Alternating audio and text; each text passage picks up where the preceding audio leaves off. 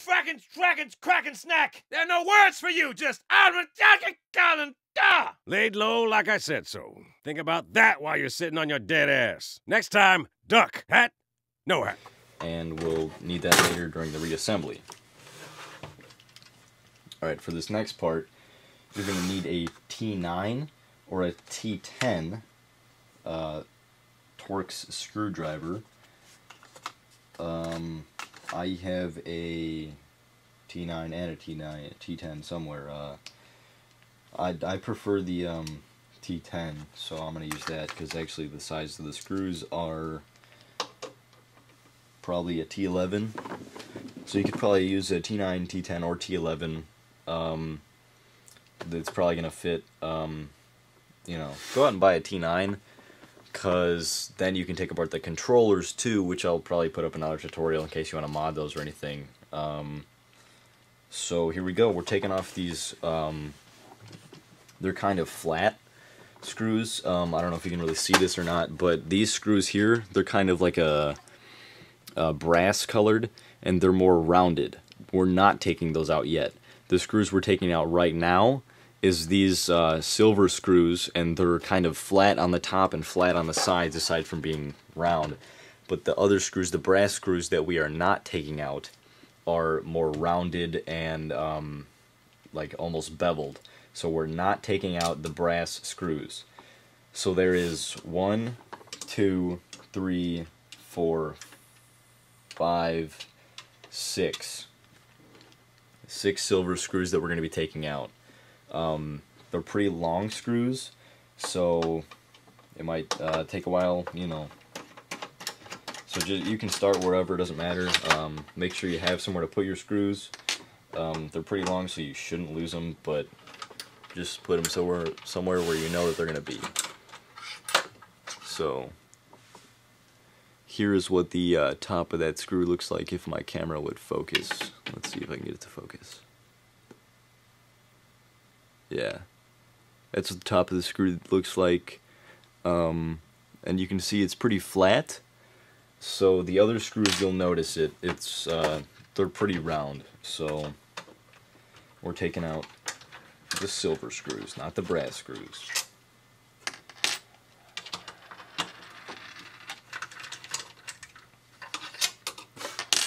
How did that one go?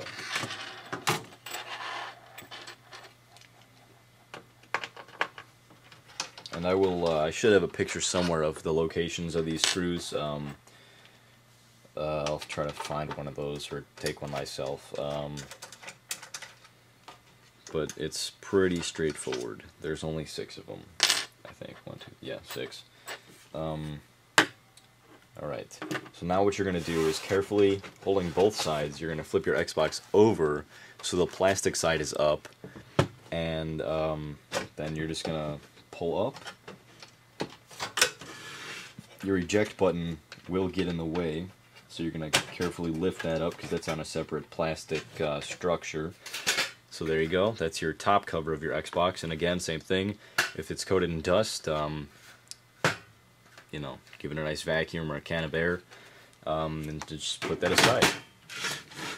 Alright, so here's your Xbox DVD drive, um, CPU, uh, CPU heatsink actually, um, fan, actually air shroud, and then two fans in the back. Um, that's pretty much it. Uh, be careful, you know, obviously if you got this far, then you think you know what you're doing, and uh, um, be careful at ESD, electrostatic discharge. Um, you know, it's getting pretty cold out here in America, so um, if you're wearing wool socks, don't go, you know, touching the inside of your console without grounding yourself to the case first, or wearing an anti-static wrist strap. Um, that's pretty much it. So if you want to take out your DVD drive, let's say that your DVD drive has failed, and uh, you know how to flash it and do all that other stuff, quite simply, you're just going to go right here, pull it out, and then disconnect the SATA cable and then the other cable. It's power or something like that. Um, put it aside, put the new one in, flash it, do all that stuff. Um, there's actually a little bit of corrosion on my uh, heatsink right there.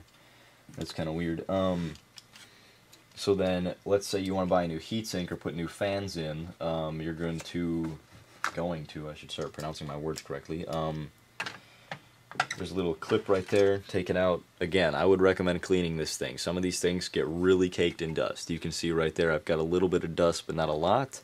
Um, you know, just clean all this stuff. Um, I actually don't really know how to get these fans in here. Um, I don't know. They use a regular three pin connector, but it's got four wires. Um, it's a one piece, but two fans. So then there you go. There's the inside of your console, and I will zoom in on that.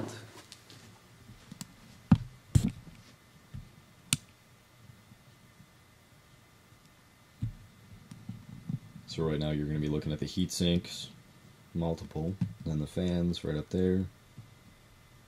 Then your SATA cord and power connector, and then um, everything else.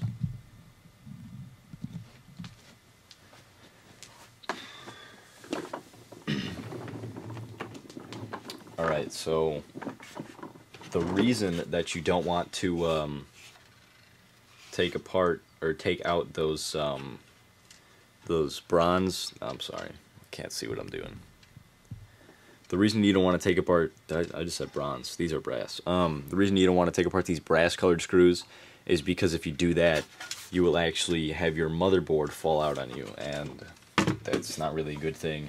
And the reason you don't want to take out these uh, eight black screws right there is the reason is because um, that will make your heatsink fall out, and then you'll have to get out your thermal paste and stuff like that, and then put that all back together.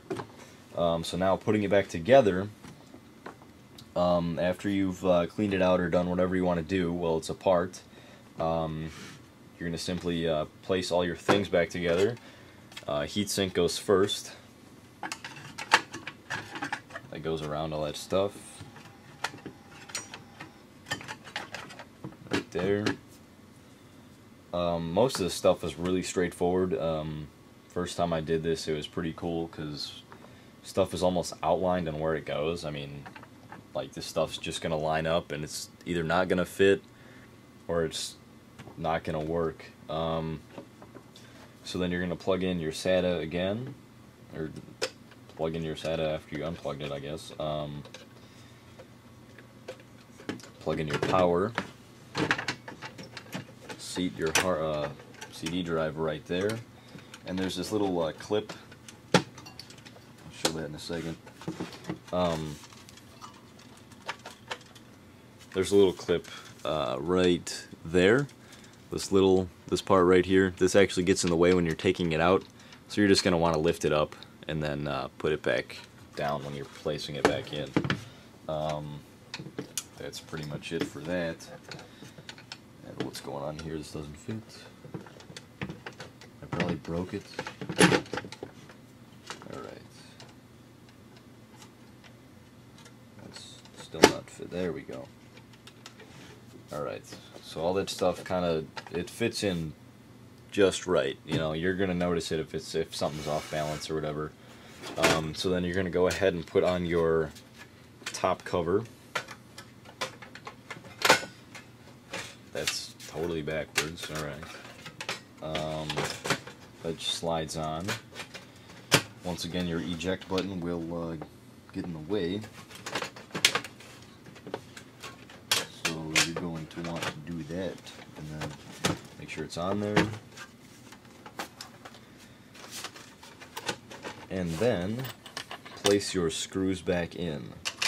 So one, two, three,